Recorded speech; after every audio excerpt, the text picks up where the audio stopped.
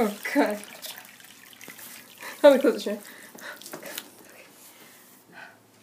Alright. Um.